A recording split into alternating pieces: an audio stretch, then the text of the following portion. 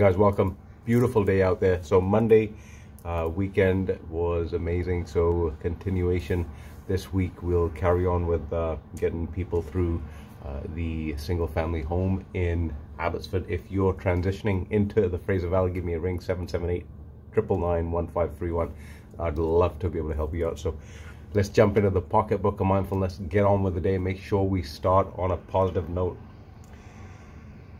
we rarely hear the inward music, but we're all dancing nevertheless. Absolutely, absolutely. So you must have a, a theme song going on in your head all the time. Uh, dance to that music, guys, and make it count, okay? It will not always be easy, but it will always be beautiful. Absolutely.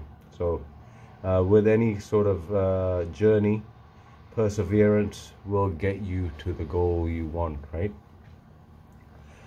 Along the journeys, there's going to be many, many things, but the outcome has been seen in your mind. So good, good to stay on that journey. Bury me next to friendly people. I like to talk a lot.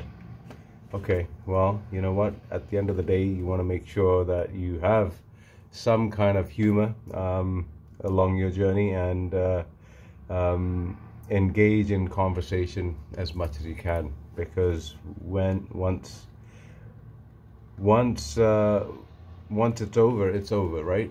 So enjoy your life on a day-to-day basis. Not knowing when the dawn will come i open every door. Absolutely. So the doors are there to be open.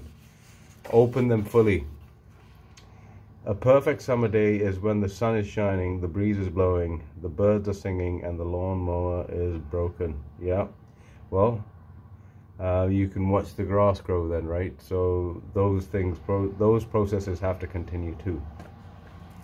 Life is too important to be taken seriously. The only thing you must take seriously, guys, is uh, the moments that uh, you have, and uh, you just got to enjoy them. So get out there make it enjoyable. I'm going to see you a little bit later on. Stay fantastic, guys. Ciao for now.